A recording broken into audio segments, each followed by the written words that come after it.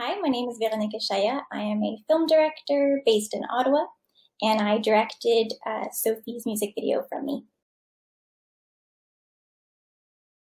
How did the story for the music video come about?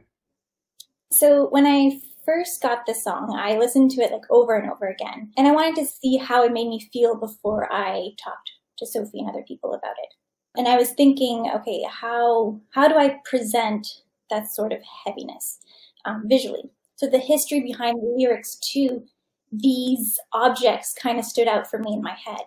And I wanted to sort of go through Sophie's memory while she's sort of interacting with these objects that represent these, you know, sometimes traumatic experiences with her grandmother and her mother.